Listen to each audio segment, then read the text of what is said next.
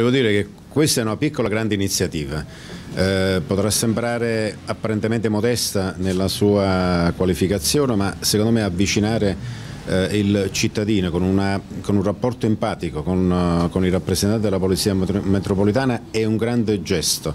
Eh, la loro sede è un po' eh, decentrata, per cui se un cittadino oggi vuole eh, segnalare eh, delle cose, vuole confrontarsi con eh, delle divise, delle uniformi che in questo momento svolgono un'attività di grande, eh, di grande importanza, molto attuale, tutti ne parlano. Uh, I problemi ambientali sono problemi all'ordine del giorno, incidono sulla vivibilità delle persone, delle comunità, l'abbiamo visto già con gli incendi, gli incendi sul Vesuvio e sull'area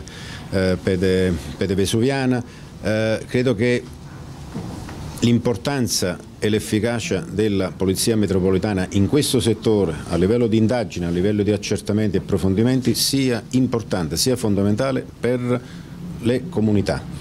Mm, c'è stata un'evoluzione anche per quanto riguarda le forze di polizia, come sapete la polizia forestale è mm, stata fusa con l'arma dei carabinieri, ha assunto Uh, funzioni investigative uh, performanti, infatti mh, hanno condotto l'indagine per quanto riguarda gli incendi dolosi uh, sul, sul, Vesuvio e credo da queste sinergie di strutture, enti che eh, si occupano in maniera specifica, puntuale ed efficace dei reati ambientali, possa, eh, questo possa rappresentare ed è eh, una grande risorsa per le comunità, al di là dei problemi di criminalità organizzata in capo alle forze di polizia, in una città bella, stupenda ma difficile, eh, i reati ambientali al pari incidono sulla vivibilità delle comunità, per cui è importante che ci siano professionisti motivati, che hanno passione e che hanno competenza per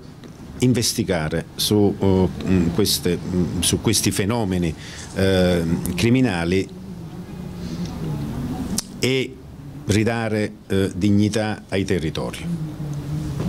Ma è sicuramente un presidio importante al centro di, centro di Napoli è spesso afflitto da varie problematiche, quindi la nostra presenza sicuramente accrescerà il, um,